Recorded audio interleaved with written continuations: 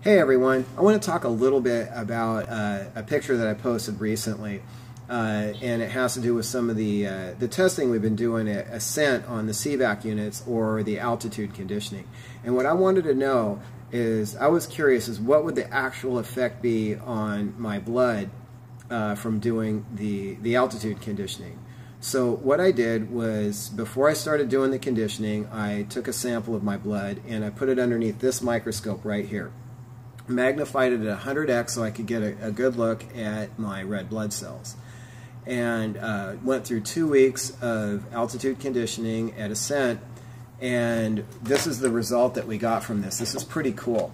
If we look right here, I'll try and hold this so I don't get too much glare on this, but if you look here, you can see this is uh, this is where we started at. This is when I started. You know, and, and the cells aren't, aren't horrible, but you know, you can see here that they you know, they have like the oval shape here. That's called an ovalocyte. Um, if you look down here, there's a little fragility in the cell wall. It's not able to hold that nice round shape. This is really more what we want is that nice round solid shape uh, in the blood cell. And we don't want to see them sticking together. And there's some other things that we look for in this.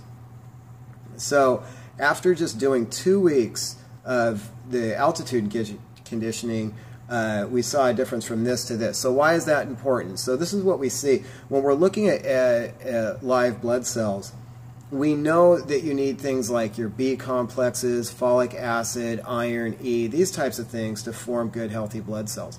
Now, in most cases, you know, a lot of us aren't getting our B complexes uh, and other things but sometimes we may be getting them and you're having a hard time absorbing them. Now, one thing that's relevant is that I had no dietary change at all. I kept everything exactly the same in my diet.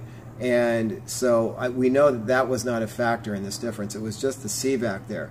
And just from doing that, it was able to force the respiration in the cell. So each time you're going up and then coming down, it forces that cell to expand and contract. Um, and that enhances the cell communication and gives it the things that it needs so that it can not only form but maintain good healthy red blood cells. So this is really important for establishing just that foundation that we're looking for to build all your other health protocols around. So this is another amazing tool that we found. I want to share it with everybody. I'm pretty excited about it. Uh, we're doing more testing. I'm looking forward to showing with you where we're going to actually show uh, the effect it has on free radical damage uh, in the blood. So uh, stay, keep looking forward to that. In the meantime, just keep doing everything you can to stay healthy and keep moving forward.